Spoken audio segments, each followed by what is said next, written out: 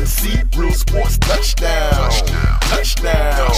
Touchdown. FNC Real Sports touchdown. The clash of the champions, keeping it real. Get the truth about sports from Kenny McNeil and Rick Del Campo. Equipped with the ammo, predict all the outcomes and scores for the family. Pigskin commentary, hardwood glory, ringside action, and baseball stories. Weekly updates to get the people all the news. Real sports talk is the show you gotta choose. Stay tuned for the best sports show around. FNC Real Sports Touchdown. Yeah, I like that. Welcome back to another episode of FNC Real Sports Talk. I'm your boy Ricky D. And I'm your boy Kenny Mack. I want to give a special shout out to my boy Jabari Young for hooking us up with that new touchdown FNC Real Sports Talk theme song. It's that hot. joint is hot on it. Yeah, I love that. Uh, shout out to Jabari. Most definitely. Fayetteville, North Carolina, one of the unsigned heights. Check them out.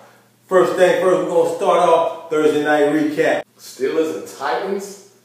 Who would have thought this would have been a game? Who thought who would have thought it would have been a game? I don't think, see, the Steelers actually being a powerhouse this year. Um, they actually should have lost last week's game.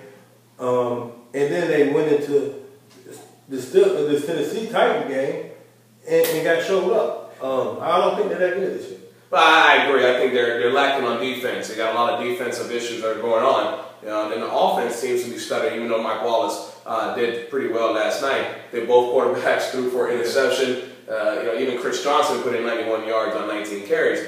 You know, but you would think that the Steelers would be on top of the game, even though they were visiting the Titans. Matt Ashback struggled game four. He came and played yesterday, last night. He sure did. All right, we got Major League Baseball playoff action um, happening this week, and we just had a good one. We just saw yes, it. Yankees came through big time. Uh, it was either do or die. Yeah. Play, go home. I think they coasting the rest of the playoffs. I think they're going to win the World Series. No, that's a good pick, man. I also like the Yankees to go as well. Right now, we have three teams solidified to go into their respective championship series. We're just waiting on one more, which is the winner of St. Louis and Washington Nationals. Uh, but we got tomorrow, game one, American League. We have Yankees playing Detroit. It's going to be a good one.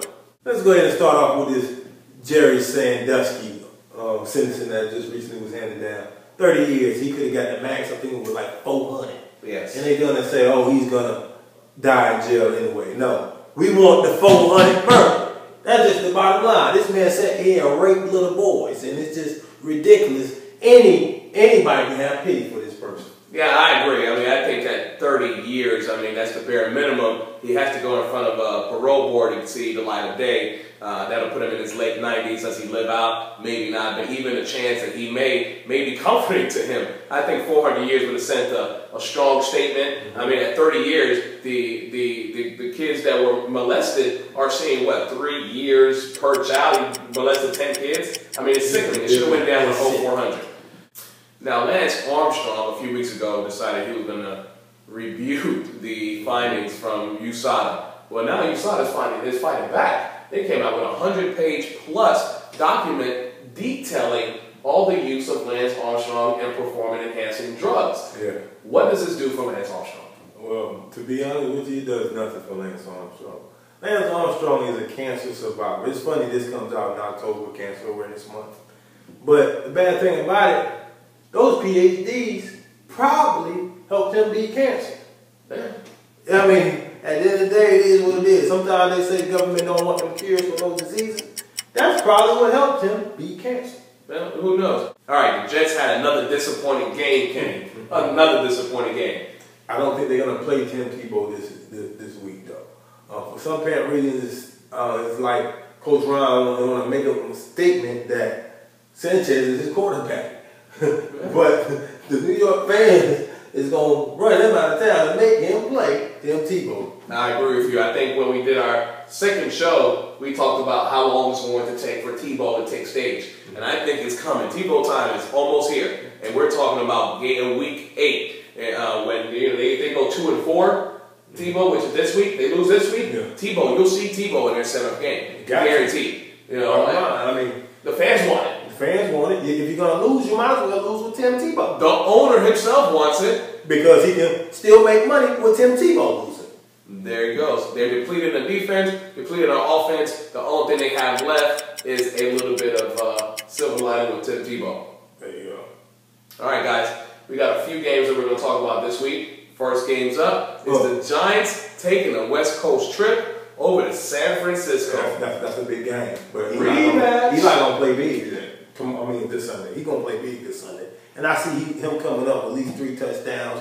And your boy, what's his name, the wide receiver. And he's Victor the, Cruz. Man, Cruz is the best receiver in the league, in my opinion, right now. And he's and it's gonna be a Eli Manning show and Victor Cruz show, and they're gonna blow him out. Bottom line. Yeah, I agree. I think the Giants wind up going to San Francisco and uh, dealing San Fran another loss. And uh, it's, gonna, it's not going to be as easy as I like it to be, but I think the, uh, the, the defense that San Fran has right now is going to be a little bit hard to fend off, you know, Eli and his passing offense. It's just too much Eli.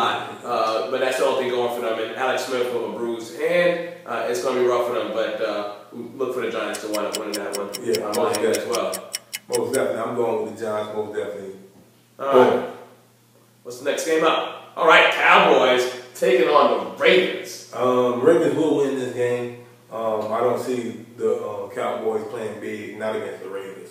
Um, they got to put up points. I think, and um, the Ravens going to end up rebounding from that sorry offensive performance they had last week and blow out Awful. the Cowboys. It was. It, it was a very awful match they had last week. What was it? Nine six. It was a field goal bowl. Yeah, they still my Super Bowl pick though. It, well, yeah. Well, that's another discussion. They're out. They're up there, but I look for for Joey Flacco to come up big in this game. Uh, you know, again, it was a poor offensive last game. Um, you know, the Cowboys are coming off a bye week, so you know, look for Tony Romo to do big off a bye week. They do have a good defense now, so it's It's defense against defense. So the first one who strikes first is going to have the upper hand. Uh, but I do I do want to be in the game It's about to some changes in Big D too. That's No. what I tell you.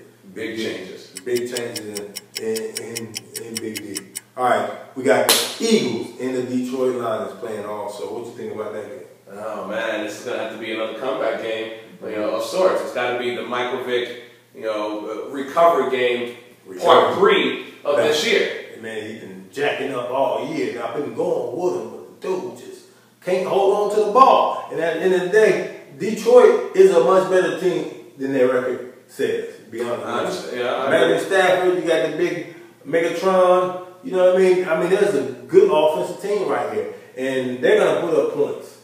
This is about Michael Vick holding on to the ball. Yeah.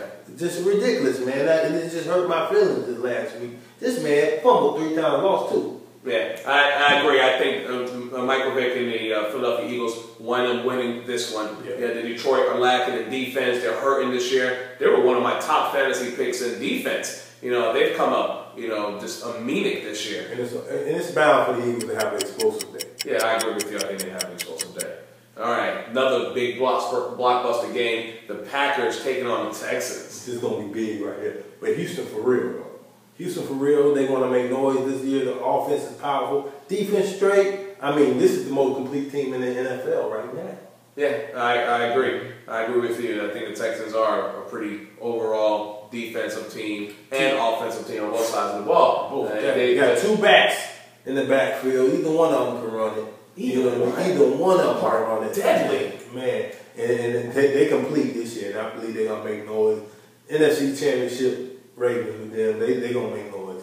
Yeah, I, I, I think you have to wind up having a little bit more offensive performance out of uh, Andre Johnson in this game. He was a little bit slow last week. You know, um, uh, lighting up on the carries on Arian Foster, or you're going to wear that horse down. Uh, they did lose Cushings, which is uh, a big, big, big loss that defense. But that J.J. Watt is a beast. So look for him big to slap down some of them Aaron Rodgers balls that they're going to Yeah. come flying out there. But you, you can't, you can't always hold down Aaron Rodgers. You only hope to contain him. We also got the Denver Broncos and the San Diego Chargers. Right, let me tell you what I think about this game, though. Uh-oh. I think both teams going to be at 500 after this. You got you got the three and two Chargers that lost the last two games. They've been exposed. Uh, you got the two and three um, Broncos. I'm sorry, Broncos. They're gonna beat. They're gonna end up beating Philly Rivers and the San Diego Chargers. At home. At home, yeah. At home. At home. I mean, it's just right now they, they, they won their first three. They're gonna drop the next three, and they've just been exposed. I don't know what's going on there, but I mean they've just been exposed. Well, like you said earlier about the Lions, the, the Broncos are a much better team than what their record says. I mean, they lost to some really good teams. So, and, and Peyton has played, you know, admirably since he's since he's been here. This is only game number six for him. So I, I, I do I do look for Denver to pull up the upset here at Chargers. Um, and uh, both teams wind up being at 500, going for that fight for the AFC West. All right, guys, these are the rest of our picks for Sunday's games. Rick, what we looking like over there?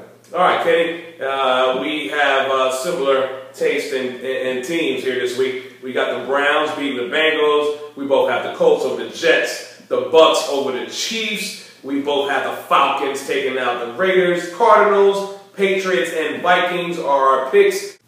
With the only game that we disagree on in the slate, the Rams taking on the Dolphins. I got the Rams, even though they lost their best receiver, Danny Amendola. Mm-hmm. But you have the Dolphins. Oh yeah, man. The Dolphins been playing these teams big um, the last two weeks. They've been, been playing teams tough. Tannehill is showing that he's a quarterback that's supposed to be in this league, and Reggie Bush is going to be the deciding factor in this game. Um, because he's having the best season of his career right now as we speak. Yeah, I agree with you. He is having a great year. Now, we were at the Panthers and Seahawks game this past weekend, and we had our reporters who went out and got some reactions from the crowd about this coming week's games. And check them out. Check it out real quick. All right, guys, we're back. I found another tailgater. His name is John. I'm going to ask him about the 49ers and the Giants. Who we think is going to win next, next week? All right, John. We got the Giants coming to the Bay, right? 49ers. Best defense in the league. I think San Francisco's going to win. He said San Francisco's going to win. And why is San Francisco going to win this game? The Giants like to play a comeback. They like to get late, you know, mess up in the fourth quarter. They trying to come back and win all the games. But I think San Francisco's defense is too What's good. your prediction on the Cowboys-Ravens game? Uh, always Cowboys for me. Uh, I'm here to give the Panthers fans a two-week notice that you got a loss coming in two weeks, and uh, it's going down in two weeks. I can't wait. I'm here with Joe, and he's gonna give me the prediction on the Seattle Seahawks and the New England Patriot game next week. Who do you think is going to win that? Seattle, hands down. Seattle hands down. Why do you think that? because I mean they're coming out strong. I mean they're forced to be reckoned with that home every time in Seattle Stadium. We got a crazy fan base, and uh, I know myself and a lot of the fans are Tom Brady haters. All right, guys. Thanks to Tiffany Williams and Katina Sue for their reporting out there at the game. Great job, ladies. Make sure you check them out on Twitter as well. Uh, follow them here. Also, I want to thank everybody for tuning in to another episode, FNC Real Sports Talk. I want to give a special thanks to my boy Jabari Young. Young! for hooking us up with this new touchdown song is the new anthem for the FNC Sports Talk Show. And also, I want y'all to check them out. Y'all can check them out at www.verbs.bandcamp.com and also www.fearlessyoung.com. Appreciate you once again, baby. Check us back next Thursday. We got a new episode. waiting. Coming back your way. Peace. Stay tuned for the best sports show around. FNC Real Sports Touchdown. Touchdown. Touchdown.